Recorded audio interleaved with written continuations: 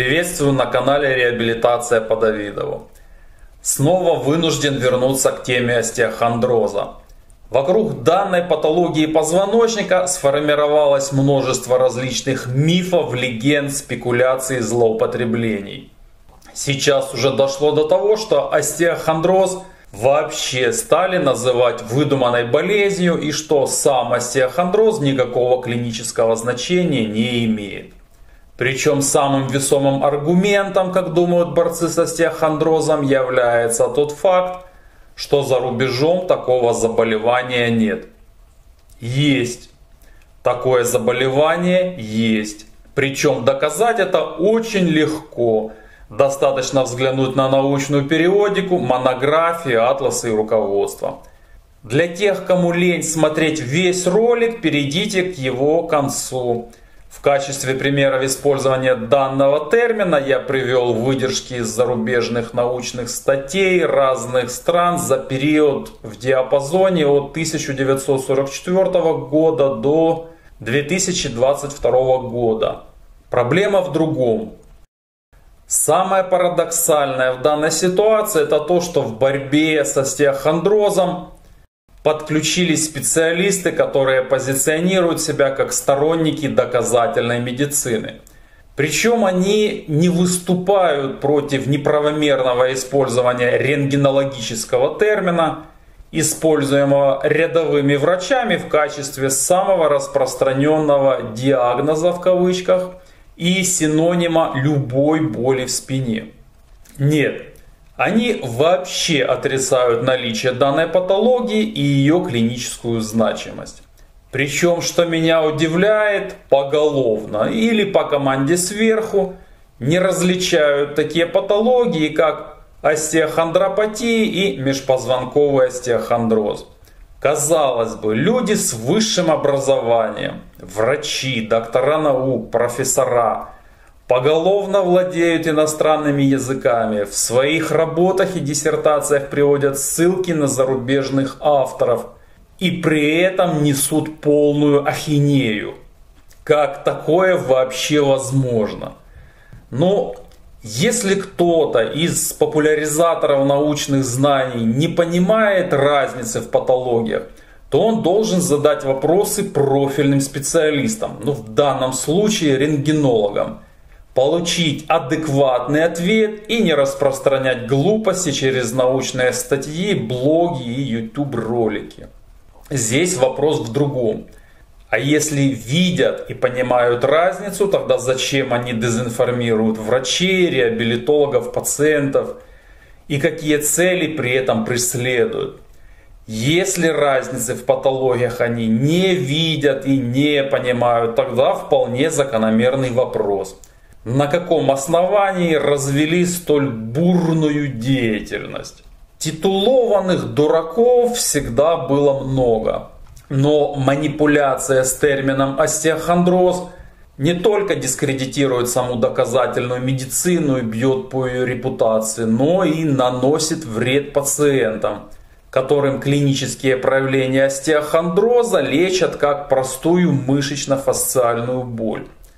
По факту все последствия неадекватного лечения и реабилитации можно классифицировать как ятрогению.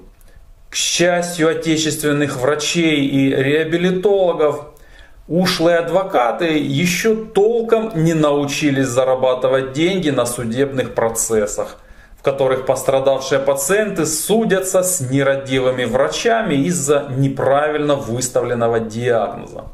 Хорошо, если диагноз остеохондроз был выставлен с потолка, и у пациента было банальное растяжение мышц, например.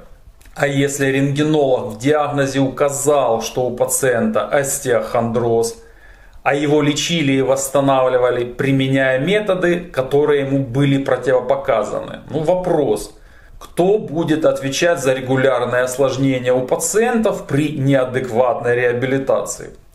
Пациенты с истинным остеохондрозом позвоночника постоянно ходят по тонкому льду. Хронизируются быстро. Некоторым грозит операция по стабилизации пораженных сегментов.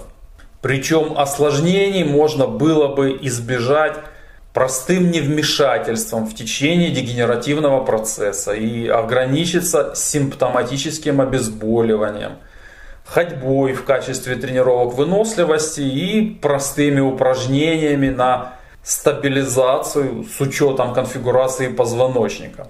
Все остальные методы лечения и реабилитации не имеют доказанной эффективности.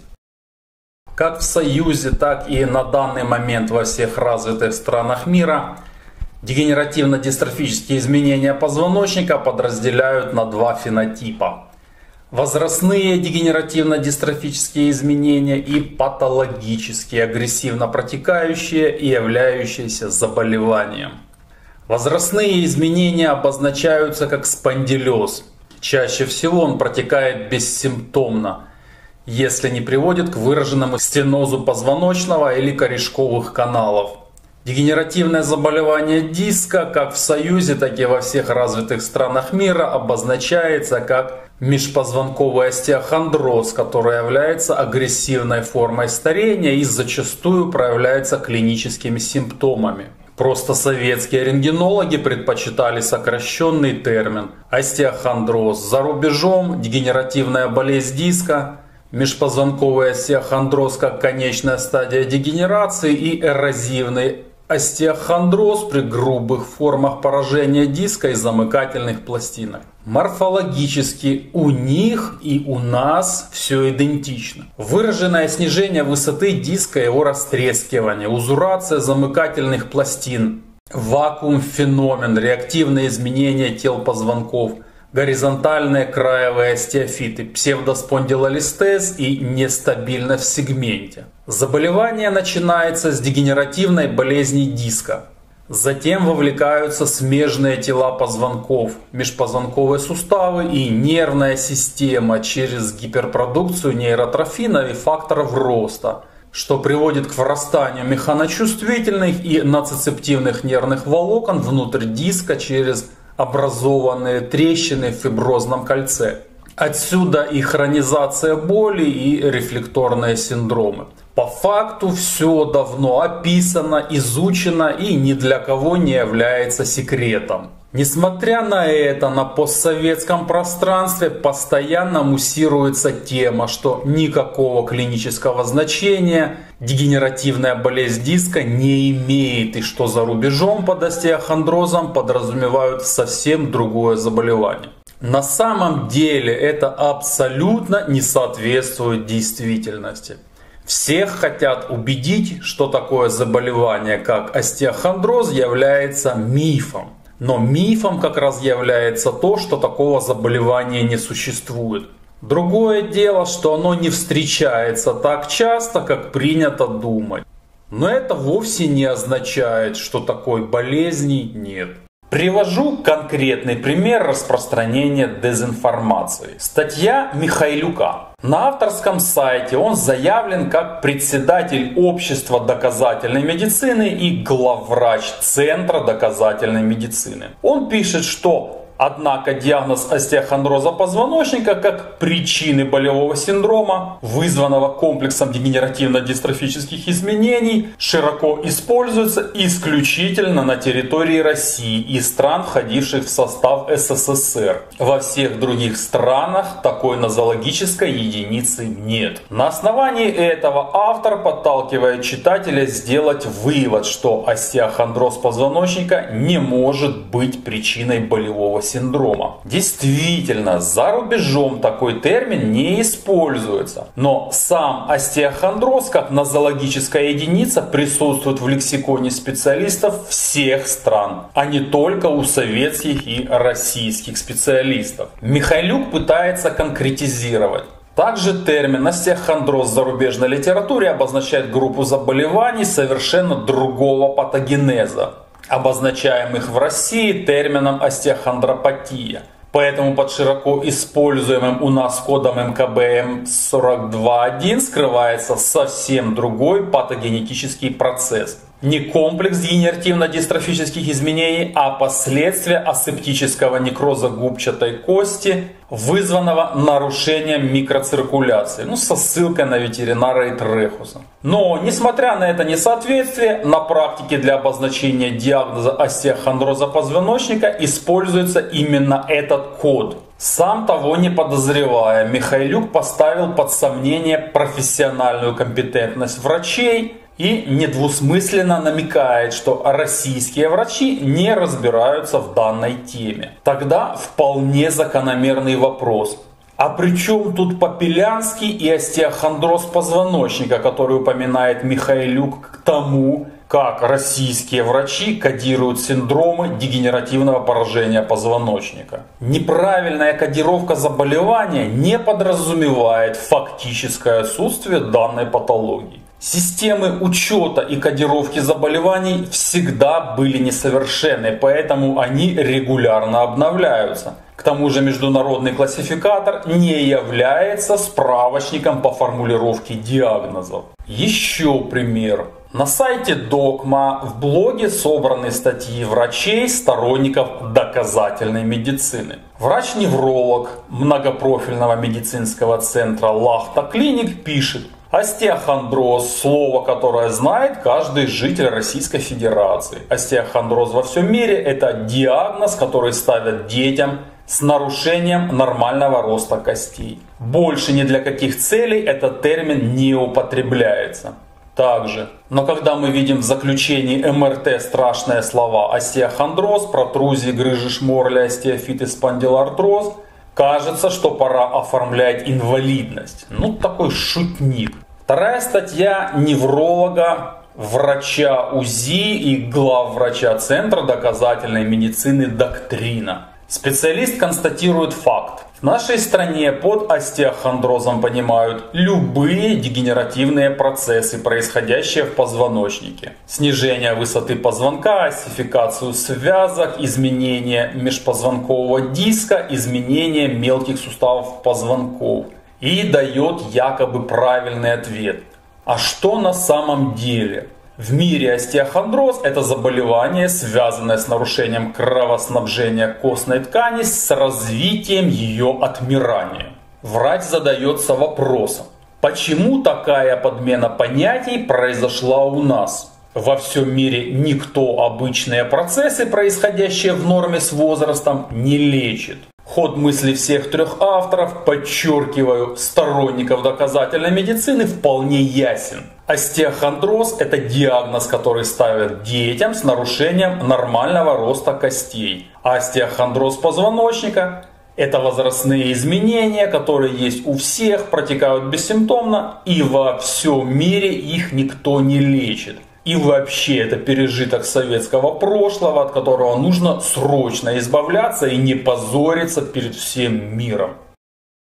К моему сожалению, я вынужден всех огорчить. Удаление из обихода термина остеохондроз или остеохондроз позвоночника проблему не решает. Дегенеративные заболевания позвоночника вносят значительный вклад в инвалидизацию населения и количество пациентов, страдающих хронической болью в спине, вызванной дегенеративным поражением позвоночно-двигательных сегментов, постоянно растет. Вывести из обихода такой диагноз в кавычках, как остеохондроз позвоночника, не получится потому что такого официального клинического диагноза никогда не существовало, даже в Союзе. Это медицинское разговорное клише. Термин был и есть, может использоваться как часть рентгенологического диагноза.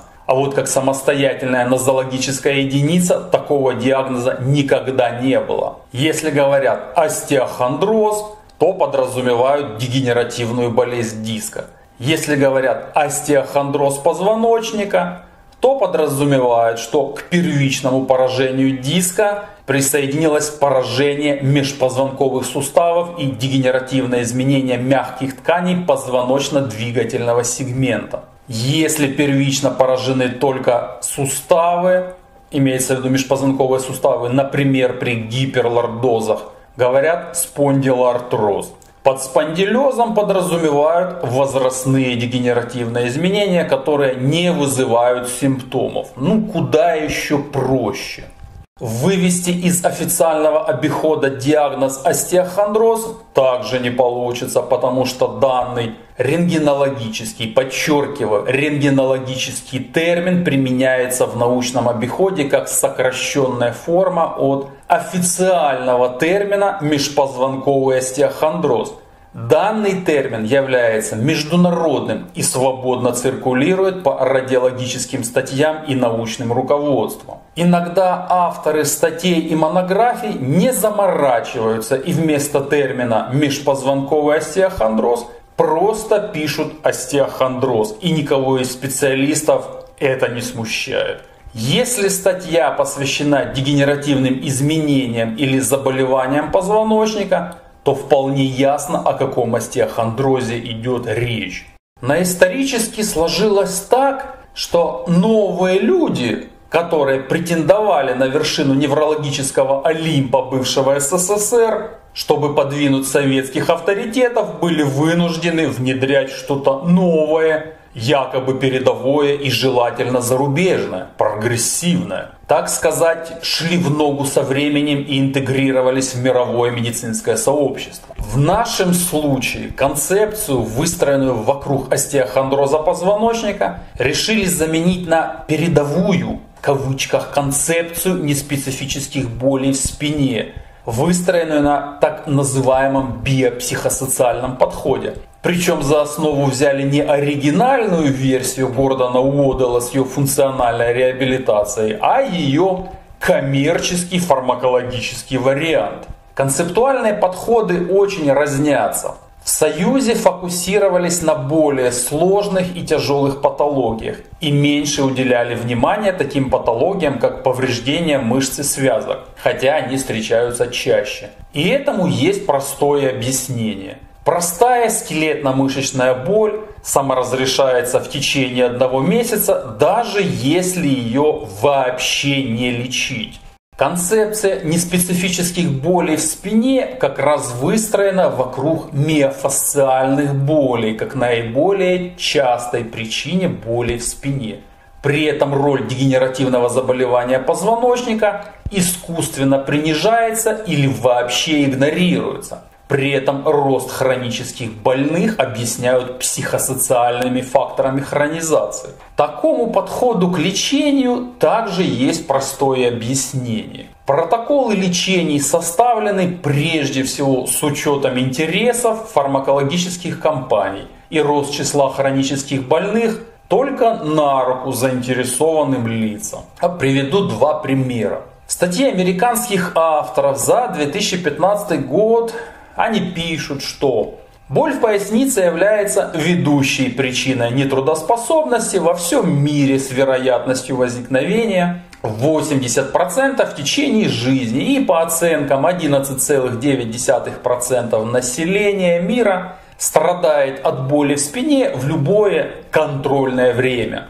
В США заболеваемость населения болью в пояснице еще выше – при этом эпиднадзор центров по контролю над заболеваниями показывает, что 30,1% американских женщин и 26% мужчин сообщают о боли в пояснице в течение трехмесячного периода. Ну, сразу заодно обратите внимание на затраты на лечение. От 20 до 100 миллиардов долларов в год. Ну, приведу Российский пример. Воскресенская и Туряница в статье «Неспецифическая боль в спине и саркопения» за 2019 год пишут. Число потребителей нестероидных противовоспалительных препаратов очень велико и все время растет. На 2016 год в нашей стране зарегистрировано 19,2 миллиона людей с болезнями костно-мышечной системы, большинство из которых составляют больные остеоартритом и неспецифической болью в спине. В 2017 году в России продано 125 миллионов упаковок различных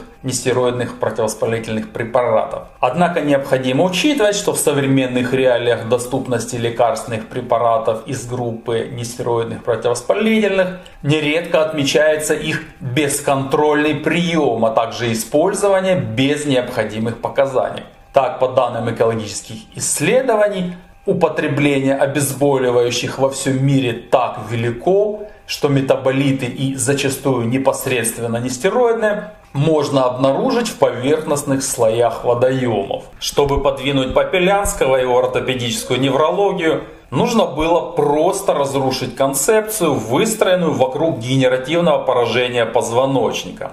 Но разрушить монолит 40-летних наработок сотни специалистов не так уж и легко. Считай невозможно. Поэтому решили просто дискредитировать как саму концепцию остеохондроза, так и ее создателя Якова Юрьевича Попелянского. Фальсификация концепции остеохондроза позвоночника представляет собой яркий пример уничтожения советского научного наследия. По большому счету концепцию нужно было просто пересмотреть, подкорректировать, усовершенствовать и добавить недостающие части в общую картину заболеваний позвоночника. Но кураторами медицинских реформ на постсоветском пространстве такая задача не ставилась. Нужна была новая концепция и новые протоколы лечения, в которые можно вписать любые нужные препараты и схемы лечения. Бизнес есть бизнес, ничего личного. Поэтому приступили к научно обоснованному в кавычках опровержению концепции. Ну, как они это сами понимали. Зацепку нашли быстро и легко. Рядовые врачи неправильно понимают суть дегенеративных процессов в позвоночнике и их клинические последствия. Не различают таких понятий, как остеохондроз позвоночника, межпозвонковый остеохондроз, спондилез. По сути, борцы с концепцией остеохондроза сыграли на безграмотности врачей и терминологических нюансах. Необходимость кодировать заболевания согласно международному классификатору болезней сыграла на руку. В МКБ под остеохондрозом подразумевались остеохондропатии. И врачи по незнанию или недоразумению неправильно кодировали остеохондроз как заболевание – что послужило поводом для вполне оправданной критики. Под этот шумок концепцию остеохондроза позвоночника быстро отодвинули в сторону, а Попелянского объявили чуть ли не старым маразматиком и позором российской медицины. На выход нового классификатора болезни 11 пересмотра спутал все карты и теперь борцы с остеохондрозом ходят с кислыми рожами и до сих пор пытаются доказать, что под остеохондрозом за рубежом понимают совсем другое заболевание и остеохондроз позвоночника никакого клинического значения не имеет. Начали придумывать разные названия типа дорсалгии, дорсопатии, остеитов позвоночника, остеоартрозов позвоночника и прочее. Но по факту остеохондроз как дегенеративная болезнь диска как был, так и остался. И никуда он не денется, даже если безапелляционно отрицать его наличие и клиническую значимость. И попытки объяснять увеличение количества больных с хронической болью в спине наличием триггерных точек, ну это просто смешно. На самом деле дегенеративное поражение позвоночника всегда находилось под пристальным взглядом специалистов, о чем говорит огромное количество научных работ по данной тематике. И да, термин межпозвонковый остеохондроз или остеохондроз – регулярно мелькает в статьях и книгах зарубежных авторов. И да, это тот самый остеохондроз, клинические синдромы которого изучались советскими специалистами и в частности Попелянским. Но факт остается фактом. От остеохондроза и научного наследия Попелянского пытаются избавиться любой ценой и любыми методами. Даже если для этого приходится нагло врать замалчивать и искажать информацию по данной теме. Сторонники ортопедической неврологии Борцов с остеохондрозом заслуженно наградили титулами ревизионисты, демагоги и дилетанты-неспровергатели. Перечислю самых известных. Это Жарков, Эрдес и Богачева. С них началась смута и брожение в медицинских массах. Сейчас эстафету распространения дезинформации по данному вопросу подхватили якобы сторонники доказательной медицины. Правда, доказать толком ничего не могут. Из истории борьбы с остеохондрозом позвоночника. Например, профессор рентгенологии Павел Жарков вообще отрицал какую-либо связь дегенеративного заболевания позвоночника с клиническими симптомами и всю ответственность за боль и неврологические симптомы возлагал на мышцы и связки. Доктор медицинских наук Богачева Лариса пошла еще дальше и в буквальном смысле придумала новое заболевание – дарсалгию, то есть боль в спине. Книга так и называется «Дарсалгия. Современная ортопедическая болезнь». Но, конечно, это ее право. Но как мы должны реагировать на то, что Богачева льет грязь на Попелянского – и при этом нагло лжет относительно кодирования остеохондроза в международном классификаторе болезней. Богачева думает, что она единственная в своем роде, кто умеет им пользоваться. К тому же у данного врача явно завышена самооценка. Самое смешное и интересное в данной ситуации то, что Богачеву сначала использовали как таран против Побелянского – а потом, достигнув поставленной цели, просто вышвырнули ее за ненадобностью. Богачева жалуется, что ее заслуги перед неврологией всеми игнорируются, даже ее научным руководителем Николаем Николаевичем Яхно.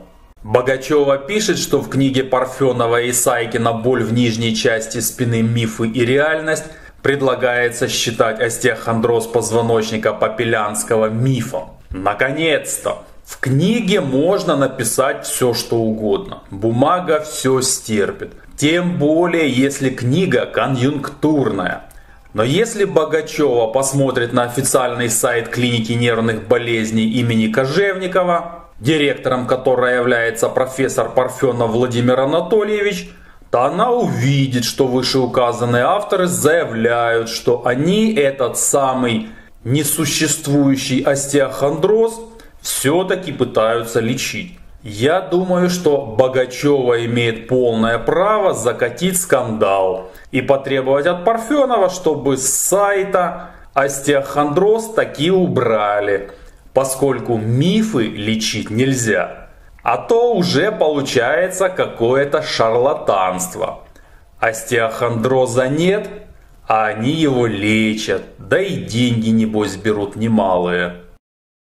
Больше всего вреда нанесла статья профессора ревматологии Шандора Эрдеса. Статья однозначно знаковая и сильно повлияла на неокрепшие умы окончательно запутавшихся врачей. Но если мы внимательно посмотрим на статью, то мы увидим, что Эрдес серьезно запутался в терминах, зачастую сам себе противоречит и, что самое главное, вскрыл проблему некомпетентности врачей, которые занимаются лечением боли в спине. Эрдес раскритиковал Попелянского, но сам того не осознавая, подтвердил его тезисы и продемонстрировал, что в данном вопросе сам является полным профаном. По факту Эрды с Фоломеевой объявили войну покойному Попелянскому и его коллегам, но умудрились проиграть мертвым. Эрдес пишет, хорошо быть оригинальными и самобытными,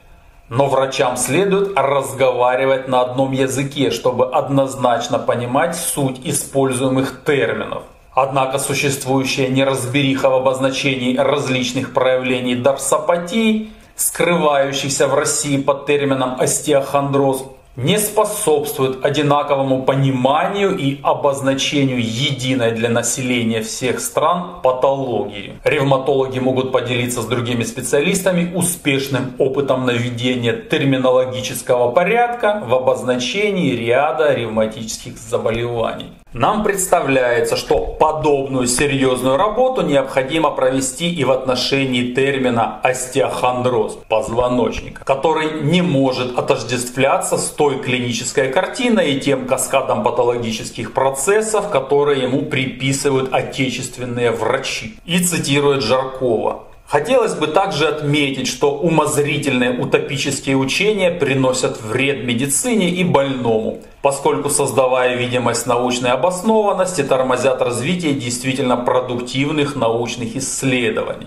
И ярким примером этого может служить отечественное изобретение, учение об остеохондрозе как причине не только всех болей в области позвоночника, но и практически всех болевых синдромов в опорно-двигательной системе. Эрдес пишет, что почему-то авторов приверженцев теории остеохондроза не смущает то, что во всем мире говоря о вертеброгенном болевом синдроме, имеют в виду лишь грыжи дисков, спондилоартроз, а вовсе не остеохондроз в нашем понимании.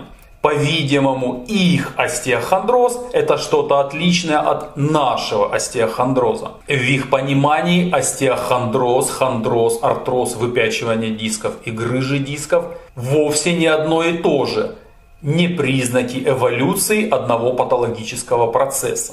Эрдес сразу с размаху сел в лужу. В первую очередь следует упомянуть что имеется несколько не сильно отличающихся друг от друга хорошо известных и понятных отечественных определений остеохондроза, среди которых наиболее распространено предложенное Попелянским. Остеохондроз позвоночника – полифакторное дегенеративное заболевание позвоночно-двигательного сегмента, первично поражающее межпозвонковый диск, а вторично другие отделы позвоночника, опорно-двигательного аппарата и нервную систему. Эрдес даже не понял, что сам себя загнал в тупик, потому что остеохондроз позвоночника и остеохондроз это два разных термина, описывающих разные этапы дегенеративного поражения позвоночника. Остеохондроз – это дегенеративная болезнь диска а остеохондроз позвоночника – поражение всего позвоночно-двигательного сегмента. Обратимся за комментариями к рентгенологам. Тагер и Мазо так комментируют сложившуюся практику применения терминов. Имеем ли мы право объединить единым термином остеохондроз позвоночника целую группу дегенеративных заболеваний? Остеохондроз, спондилез, спондилоартроз. С точки зрения количественной, формальной, да. Однако количественный подход к определению различных дегенеративных состояний позвоночника затрудняет изучение, нивелирует их в один огульный, необобщающий термин. При этом теряется главное – качественная определенность каждого вида дегенеративного состояния позвоночника. На позициях строгого разграничения дегенеративно-дистрофических заболеваний позвоночника основаны работы Попелянского. Мы придерживаемся взглядов, согласно которым дегенеративное заболевание позвоночника, спондилез, остеохондроз и спондилоартроз Рентгеноанатомически и клинически необходимо дифференцировать и рассматривать каждый в отдельности. Это имеет исключительно практическое значение при решении вопросов лечения, трудовой экспертизы и прогнозирования заболевания. Термин остеохондроз позвоночника – это концептуальный обобщающий термин, применяемый к группе дегенеративно-дистрофических изменений или заболеваний. Это не диагноз и никогда им не был. То, что Попелянский дал определение остеохондроза позвоночника, еще не означает, что это диагноз и его нужно выставлять всем подряд, если врач не знает причину боли или не хочет ее искать. Смотрим Тагера. Остеохондроз стоит особняком и рассматривается как отдельная рентгенологическая единица. Полное название Межпозвоночный остеохондроз. Обиходное название остеохондроз. Находим этому подтверждение в статье Эрдеса.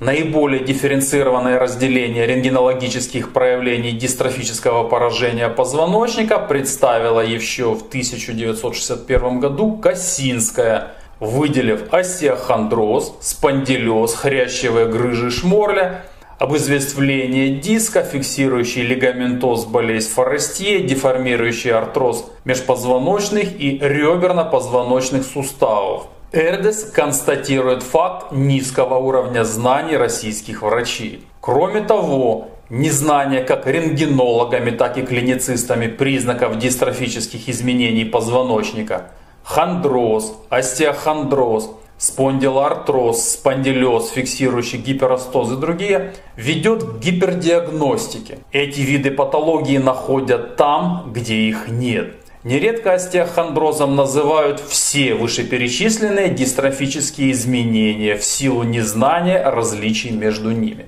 К остеохондрозу по недоразумению относят и грыжу диска, которая является следствием его разрыва. Причем, как правило, нормального диска, а не измененного дистрофическим процессом. Поэтому называть грыжу диска остеохондрозом также неверно, как разрыв мениска в коленном суставе остеоартрозом. Ну, согласен с Эрдесом на 100%. Тагер со ссылкой на Косинскую дает распространенность остеохондроза в популяции на 1961 год 15,8%. То есть мы видим, что Советские рентгенологи могли отличать остеохондроз от спондилеза, а современные с точки зрения Эрдеса якобы нет. Эрдес. В отечественном учении об остеохондрозе выделяется несколько стадий. Первое. Появление трещин во внутренних слоях фиброзного кольца межпозвонкового диска и в студенистом ядре. Вторая дальнейшее разрушение фиброзного кольца и ухудшение фиксации позвонков между собой, ведущее к их нестабильности. Третье.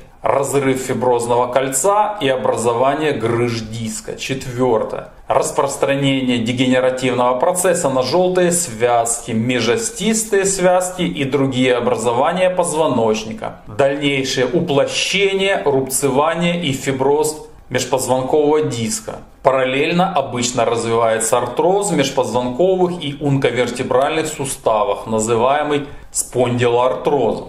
Эрдес перечисляет, что конкретно отечественными специалистами подразумевалось под остеохондрозом, но при этом почему-то не упомянул такую отличительную особенность остеохондроза от спондилеза, как реактивные изменения тел позвонков. Что это? Глупость или сознательный шаг? Дальше Эрдес начал демонстрировать свои познания в рентгенологии, чем знатно насмешил специалистов. Он пишет, по-видимому, их остеохондроз это что-то отличное от нашего остеохондроза. В открытой англоязычной версии энциклопедии Википедия остеохондроз определяется как семейство ортопедических заболеваний суставов, встречающиеся у детей и быстро растущих животных, обычно у свиней, лошадей и собак.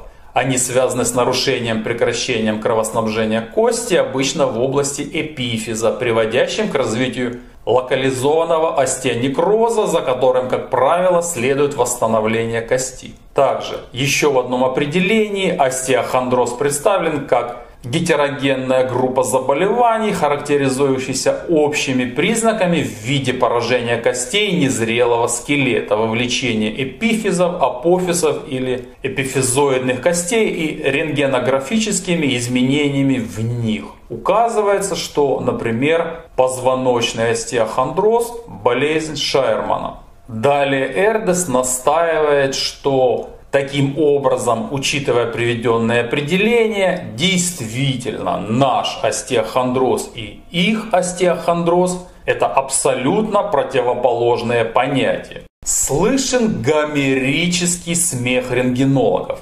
А о каком, собственно, остеохондрозе рассуждает Эрдес? С чего это вдруг он переключился с межпозвонкового остеохондроза на остеохондропатии?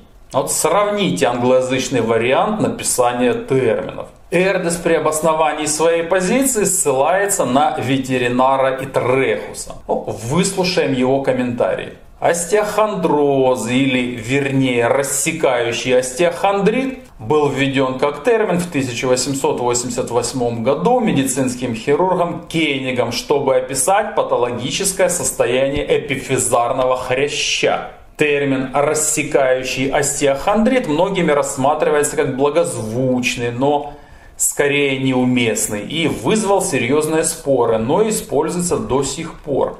Многими учеными термин остеохондрит был заменен на остеохондроз, поскольку вообще признано, что воспаление не является характерным признаком первичного поражения. Лейтон в статье «Исторические перспективы остеохондроза» за 1998 год пишет, что хотя брасом было использовано название остеохондроз, Название «рассекающий остеохондрит», данное Побишем, имело более широкое употребление, потому что первым признаком болезни, говоря патологоанатомическим языком, является остеохондроз, казалось бы, этот термин более оправдан. Я бы предложил, что термин дисхондроплазия, используемый вместо остеохондроза, был бы наиболее подходящим. Также в моих публикациях и Тордал Кристенсен термин дисхондроплазия был предложен как лучший термин, чем остеохондроз.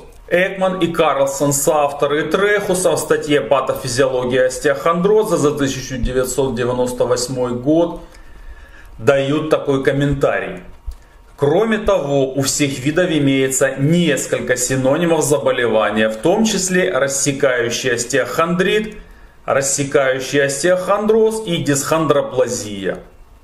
В этой статье будет использован термин остеохондроз, хотя в некоторой степени он не точен, так как первоначальное поражение не затрагивает кость, он наиболее широко принят как в ветеринарии, так и в литературе, посвященной лечению людей – Различия в терминологии остеохондроза также отчасти обусловлены тем, что заболевание имеет очень разные визуальные проявления в зависимости от стадии, на которой оно исследуется. Итак, по факту, на основе статей Трехуса, Лейтона, Экман и Карлсон можно сделать вывод, что Ветеринары все еще не определились, как должна называться данная патология. Ну, просто им понравился термин остеохондроз, хотя он не совсем им и подходит. Сам же Трехус пишет, что термином остеохондроз начали пользоваться сравнительно недавно, в конце 70-х в то время как межпозвонковый остеохондроз был введен в оборот Хильденбрантом в 1933 году. То есть термин остеохондроз был просто позаимствован ветеринарами и адаптирован под описание своей патологии. На сайте Радиопедия, а это самый крупный обучающий сайт для радиологов, Дано предупреждение, что межпозвонковый остеохондроз не следует путать с общеупотребительным термином остеохондроз, который является общим термином для группы заболеваний, влияющих на процесс роста костей путем некроза кости. Как мы видим, Эрдес ошибается, причем в фундаментальных вопросах. Наш межпозвонковый остеохондроз и зарубежный межпозвонковый остеохондроз – это один и тот же межпозвонковый остеохондроз. Как наши специалисты, так и зарубежные часто используют сокращенный вариант, то есть просто остеохондроз. И на терминологические метания ветеринаров им по большому счету наплевать находим подтверждение наличия использования термина межпозвонковый остеохондроз в статье Эрдеса. В некоторых иностранных справочниках, например, в словаре американских неврологов, в разделе остеохондроз отдельно упоминается межвертебральный остеохондроз как дегенеративное поражение дисковертебральных сочленений позвоночника с характерными радиографическими проявлениями в виде сужения межпозвоночных промежутков и реактивного склерозирования верхних и нижних поверхностей тел позвонков. Таким образом, в данном контексте термином остеохондроз позвоночника обозначается рентгенологический симптомокомплекс, а не клинически определенное заболевание. Профессор Эрдес снова поднял вопрос о некомпетентности российских врачей. Особую терминологическую и не только путаницу внесло использование термина остеохондроз не только для обозначения обнаруживаемых рентгенологических изменений в позвоночнике, сужение межпозвонковой щели, субхондральный склероз, кости, краевая сифит и другое, но и в качестве синонима связываемой с ними неврологической патологии. Да, термин остеохондроз не может быть использован в качестве синонима неврологической патологии. Врач должен указать, какой конкретный синдром был вызван заболеванием диска или поражением позвоночного сегмента. Попелянский писал, что наличие клинических симптомов является необходимым условием для постановки диагноза. Но это вовсе не означает, что вместо указания конкретного синдрома терапевту или неврологу достаточно в диагнозе написать остеохондроз. Эрдес пишет, так известный отечественный невролог-вертебролог Попелянский связывает остеохондроз с практически обязательно неврологической симптоматикой. Ну, Практически обязательная симптоматика в цифрах это сколько? Авторы статьи за 2020 год роль рентгенографии в изучении заболеваний позвоночника дают ответ на этот вопрос. 81%. В 19% случаев межпозвонковый остеохондроз протекает бессимптомно. Поэтому в Союзе часто пользовались термином клинически значимый остеохондроз, поскольку его часто находили у бессимптомных пациентов. Далее Эрдес пишет, Сегодня практически любая боль в области спины считается верным признаком пресловутого остеохондроза позвоночника. Происходит это потому, что сам термин остеохондроз превратился в синоним неврологического обозначения боли в области спины. При этом желательно, хотя и не обязательно, подтвердить этот диагноз в кавычках при рентгенографии. И он практически всегда подтверждается. Вот тут профессор Эрдес серьезно облажался.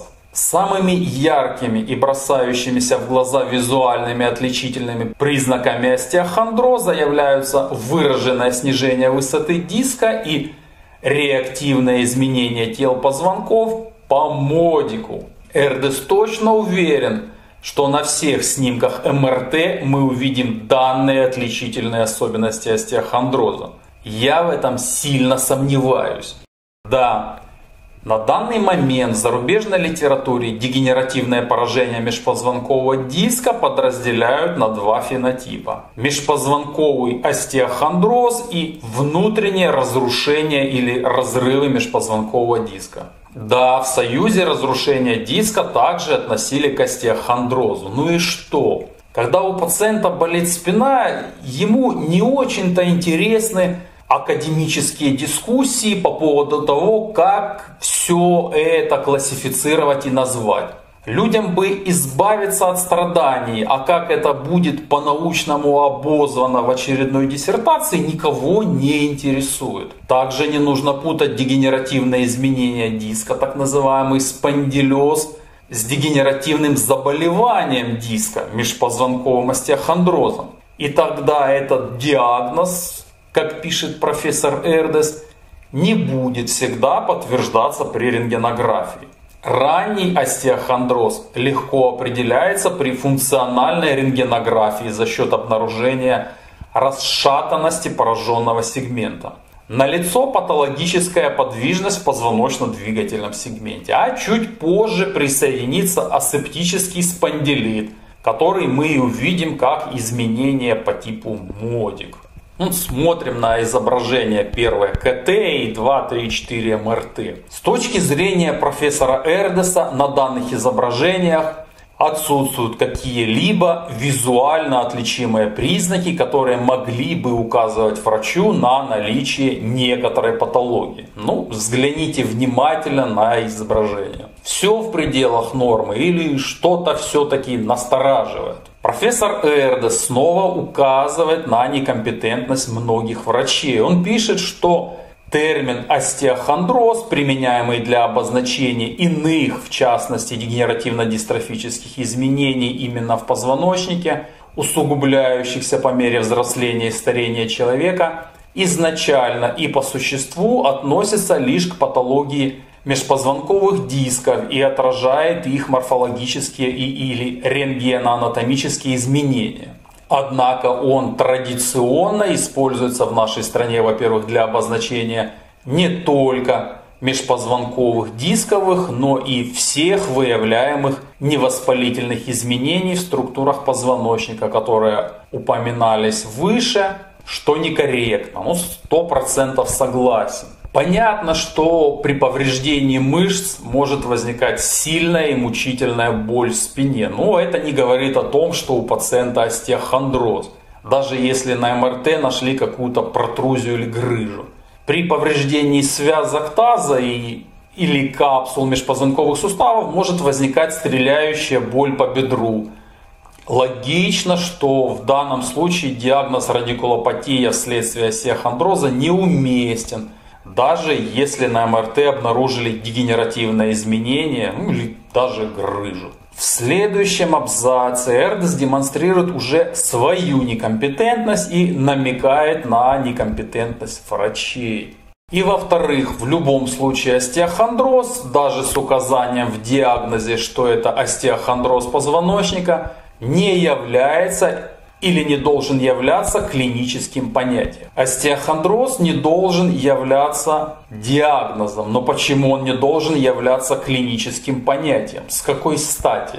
На чем основывается данный вывод? Дальше пишет. Однако отечественные неврологи, другие специалисты и врачи общей практики отождествляют термин остеохондроз с большинством вертебральных и паравертебральных клинических синдромов. Последним относится и неспецифическая боль в нижней части спины, при которой доказано отсутствие непосредственной связи между широко распространенными в популяции дегенеративно-дистрофическими процессами в позвоночнике и возникающими болевыми ощущениями в спине. Хочу всем напомнить, что мышечно-фасциальная боль на фоне спондилеза, возрастных дегенеративных изменений и скелетно-мышечная боль на фоне дегенеративного заболевания диска – это патогенетически разные боли с разным вкладом в хронизацию процесса. Простая скелетно-мышечная боль, как правило, имеет посттравматическую природу –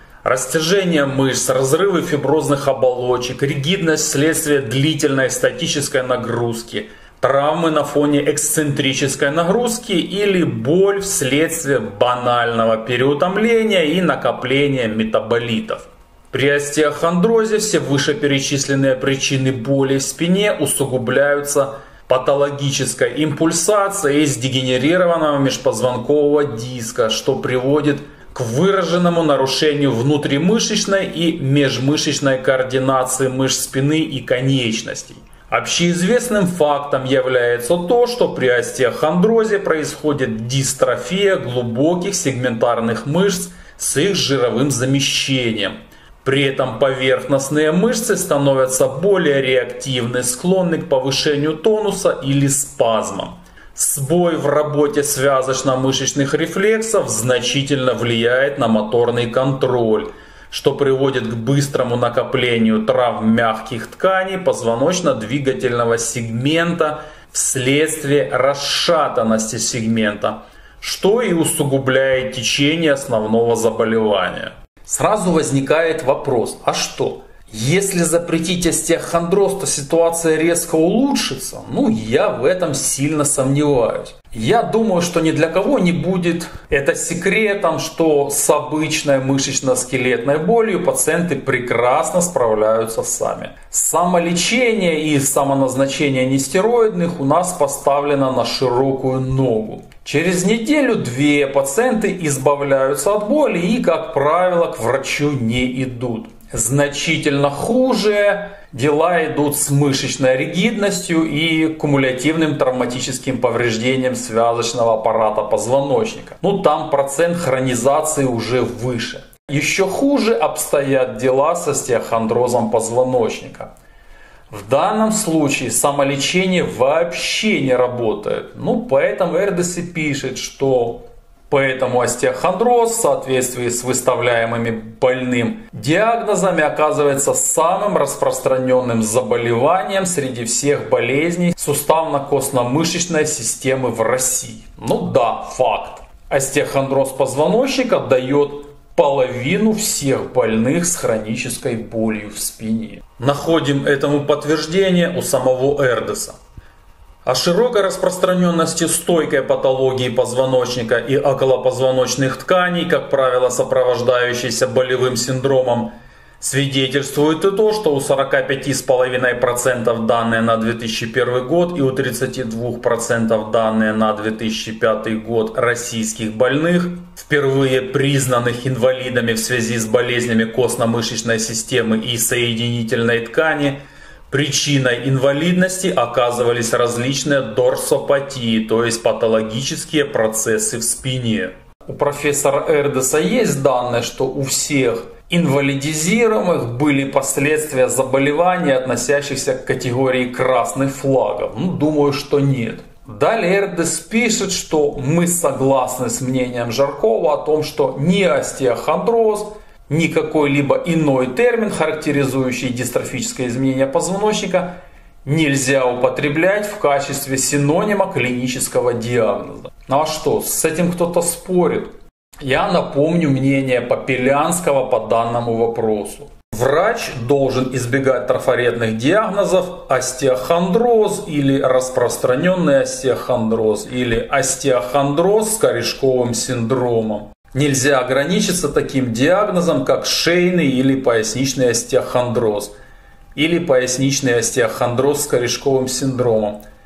Это также недопустимо, как недопустим диагноз заболевания органов брюшной полости. Возрастные изменения в позвоночнике спондилез сами по себе не являются болезнью или основным причинным фактором заболевания.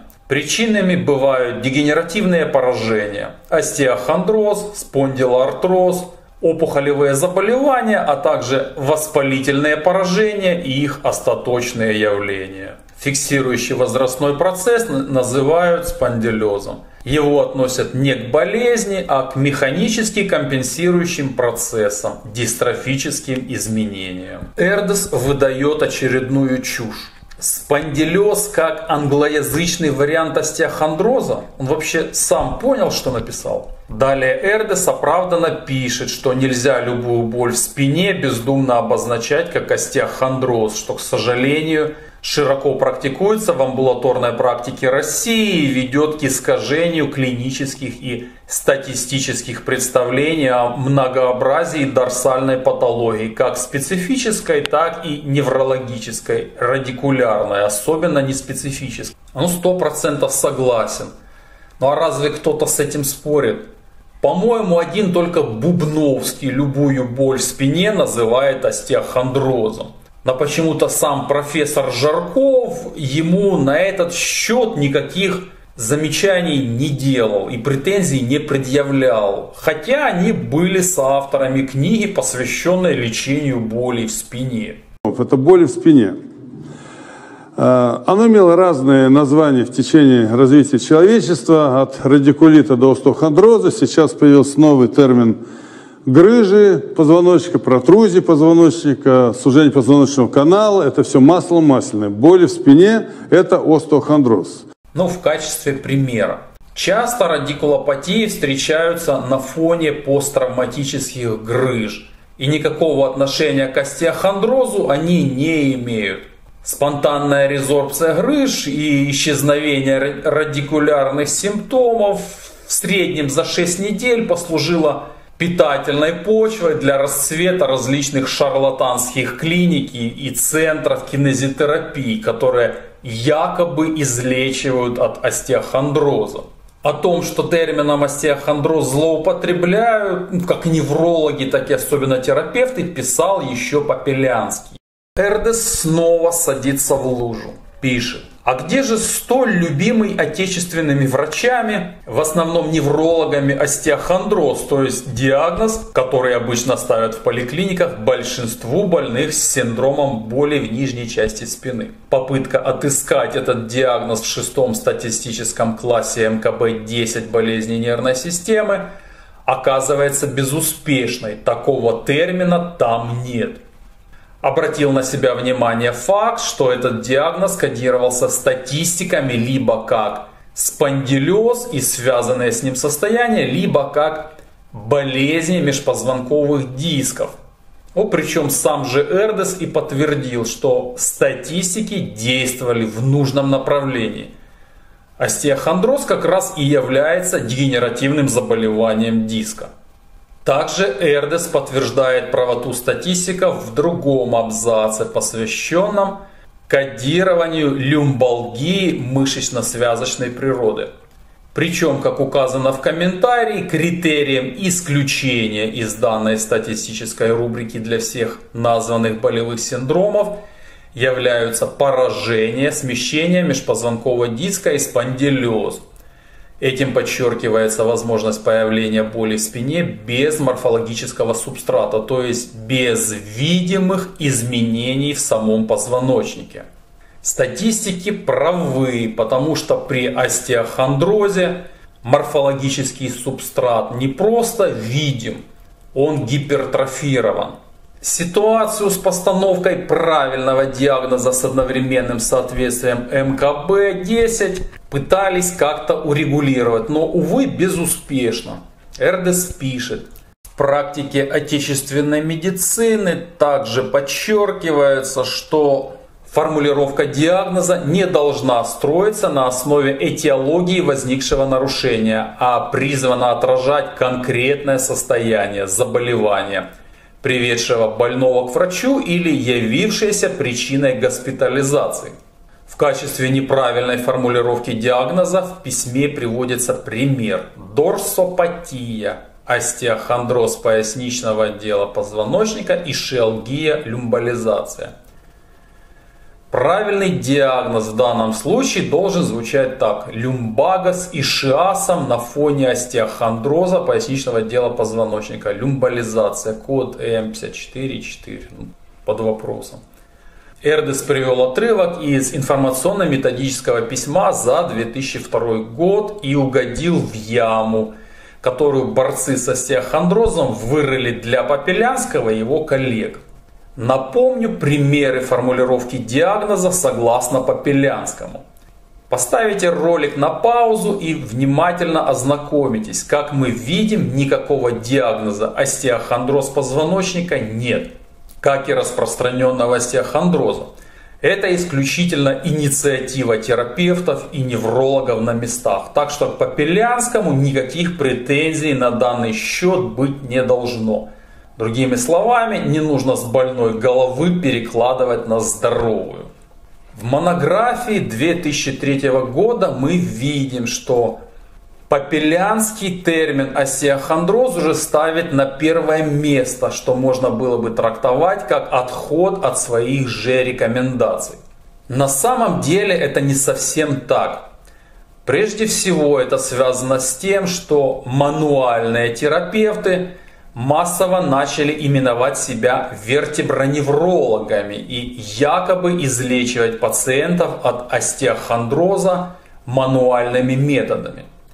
Попелянский очень скептически относился к мануальным методам лечения остеохондроза и подчеркивал, что банальное деблокирование суставов или постизометрическая релаксация – не являются патогенетическим лечением дегенеративных заболеваний. Поэтому в диагнозе остеохондроз начал вынужденно ставить на первое место, тем самым подчеркивая, что межпозвонковый диск поражен дегенеративной болезнью. И никакая манипуляция от заболевания не излечит. Тем более нужно учитывать тот факт, что остеохондроз сопровождается нестабильностью, причем преимущественно ротационной нестабильностью. А манипуляции по разблокированию суставов как раз и выполняются в ротационной технике, что может усугубить течение основной патологии – остеохондроза позвоночника. Это же касается и тракционных методов лечения. Позвоночно-двигательный сегмент разболтан и мышечно-тоническое шинирование является необходимым условием компенсации заболевания – и не нужно любыми методами добиваться увеличения подвижности в пораженном сегменте. Поэтому вынос термина остеохондроз в начало диагноза является предостережением, а не простой констатацией факта дегенеративного заболевания диска. Эрдесу не понравилось, что в письме прозвучала формулировка люмбагас и шиасом на фоне остеохондроза поясничного отдела позвоночника. И он пишет, что таким образом даже авторы этого методического письма находились под гипнотическим влиянием парадигмы отечественного остеохондроза. Люмбагас и шиаса может быть и на фоне посттравматической грыжи. Также на фоне спондилоартроза, также на фоне синовиальной кисты межпозвонкового сустава, на фоне узкого латерального кармана, да на фоне чего угодно. В 20% ишиаз вообще вызван так называемым химическим радикулитом без сдавления корешков. Также люмбага с ишиасом может быть и на фоне остеохондроза, причем токсичность грыжи дегенерированного диска в разы выше, чем у обычной посттравматической грыжи. При спондилезе также встречаются грыжи со сдавлением корешков – и при этом люмбоишиалгия может не развиваться. В зависимости от того, что стало причиной этого самого люмбага с ишиасом, будет зависеть алгоритм дальнейшего лечения и реабилитации. Собственно, предложение Эрдеса. Термин остеохондроз может быть сохранен для обозначения стадийных морфологических изменений – межпозвонковых дисках, обычно существующих бессимптомно и выявляемых рентгенологически. Хочу напомнить Эрдесу и всем другим, что для обозначения возрастных инволютивных дистрофических бессимптомных процессов давно используется термин спондилез. Среди причин боли в спине межпозвонковый остеохондроз занимает порядка 25%. При этом причиной хронической боли в спине является примерно в 50% случаев. На данный момент лечение межпозвонкового остеохондроза еще не разработано, но профилактика и правильная реабилитация, по мнению Попелянского, позволяют значительно уменьшить количество рецидивов заболевания и смягчить тяжесть страдания пациента. Но это в том случае, если признать наличие такого заболевания. А рано или поздно его наличие придется признавать, поскольку в новом международном классификаторе болезни 11 пересмотра внесен раздел «Дегенеративное заболевание диска», что является синонимом межпозвонкового остеохондроза. Эрдес ставил перед собой задачу, чтобы врачи разговаривали на одном языке и однозначно понимали суть используемых терминов.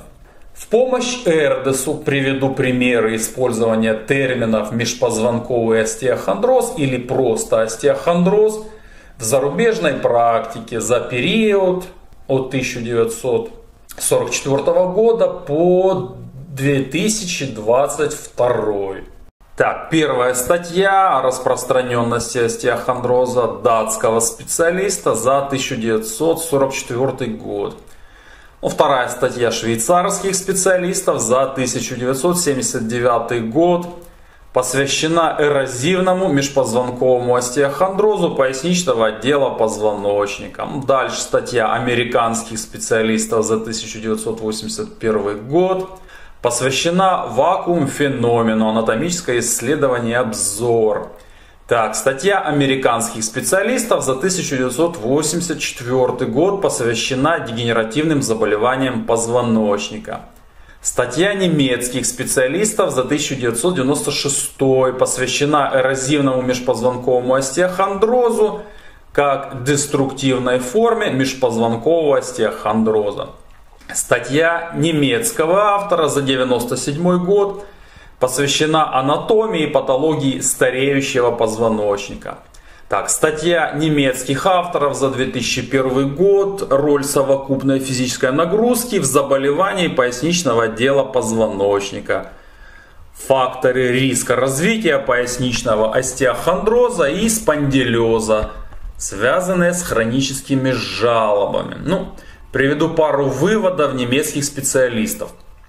В исследовании случая контроль было обнаружено, что остеохондроз или спондилез – связанные с хроническими жалобами, связаны с подъемом или переноской тяжести и рабочими позами с чрезмерным наклоном вперед. Также мы обнаружили четкую дозозависимую зависимость между кумулятивной физической нагрузкой и диагнозом симптоматического остеохондроза или спондилеза поясничного отдела позвоночника – с большими отношениями шансов для категорий, обследованных с высоким значением воздействия.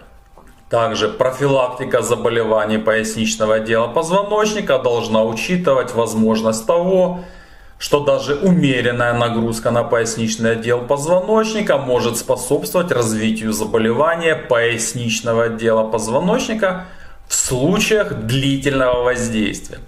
Следующая статья Пьера Милета, канадского специалиста, соавтора международной классификации патологии диска.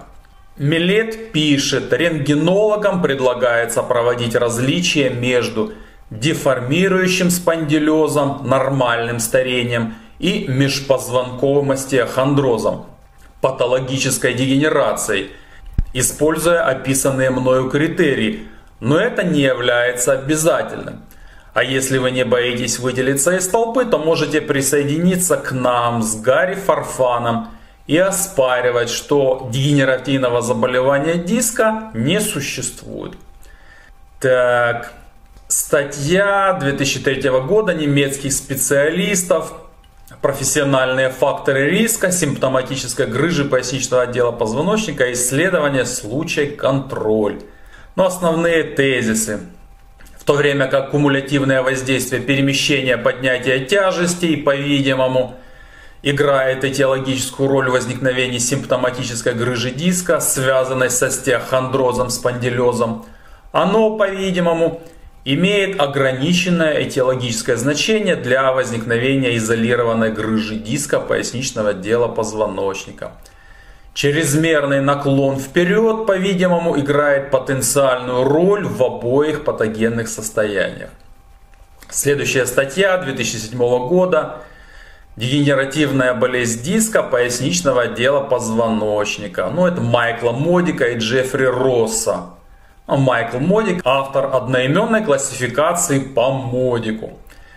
Авторы пишут, что Научные исследования предполагают, что деформирующий спондилез является следствием нормального старения, в то время как межпозвонковый остеохондроз, также иногда называемый изношенным диском, является результатом явно патологического, но не обязательно симптоматического процесса.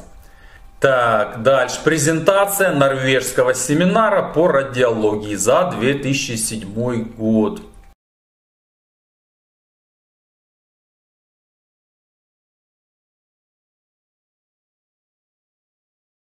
Так, вот бельгийское руководство по визуализации 2007 года. Так, дальше. Американская статья «Текущее состояние визуализации межпозвонкового диска» за 2007 год. Так, финское учебное пособие по МРТ 2009 года. Так, статья турецких авторов за 2009 год. Надежность диффузионно-взвешенной МРТ в дифференциации дегенеративных и инфекционных изменений замыкательной пластинки. Так, статья испанских авторов за 2010 год. Обзорная рентгенография в исследовании боли в позвоночнике. Авторы пишут, что Дегенерация диска подразделяется на следующие две категории. Деформирующий спондилез и межпозвонковый остеохондроз. Так, статья испанцев за 2010 год. Компьютерная томография и магнитно-резонансная томография при болях в позвоночнике, вклады противоречия. Так, статья немецких авторов за 2011 год корреляция между вакуумом феноменом на КТ и жидкостью на МРТ при дегенерации дисков. Так, статья американских авторов за 2012 год. Визуализация возрастных изменений межпозвоночных дисков, грыжи, корешковых болей. А. Нормальное старение, деформирующий спондилез. И Б.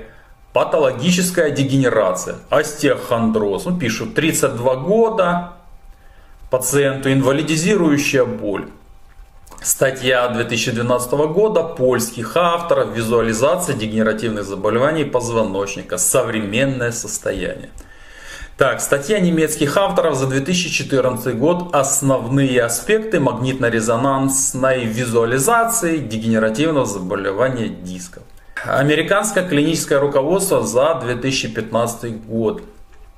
Так, статья корейских авторов за 2016 год.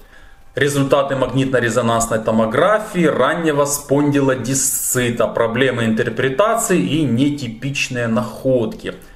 Авторы пишут, что эрозивный межпозвонковый остеохондроз, который был определен как агрессивная дегенерация диска с обширными эрозиями замыкательных пластин тел позвонков – может имитировать инфекционный спондилодисцит. Однако МР признаки вакуум феномена, Т2 гипоинтенсивный сигнал диска, лентовидный субхондральный отек, скопление жира или костного склероза, а также отсутствие эпидуральных или паравертебральных воспалительных изменений чаще встречаются при межпозвонковом остеохондрозе, чем при инфекции. Так, статья итальянских авторов за 2018 год.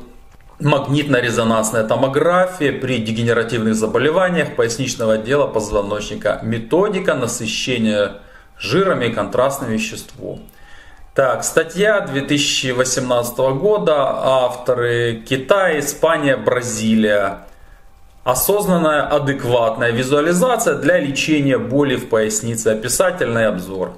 Так, статья 2020 года испанских и китайских авторов «Роль рентгенографии в изучении заболеваний позвоночника». Авторы указывают, что остеохондроз позвоночника выявляется у 19% бессимптомных. Так, статья 2021 года швейцарских авторов «Заболевания позвоночника, имитирующие инфекцию». Так, статья турецких авторов за 2022 год «Пояснично-крестцовый переходный позвонок». Так, ускоряет ли он дегенерацию замыкательной пластинки? Как мы видим, широко употребляется не только термин межпозвонковый остеохондроз, но и сокращенная форма остеохондроз. Причем речь идет не о хондропатиях, а именно о дегенеративном заболевании межпозвонкового диска.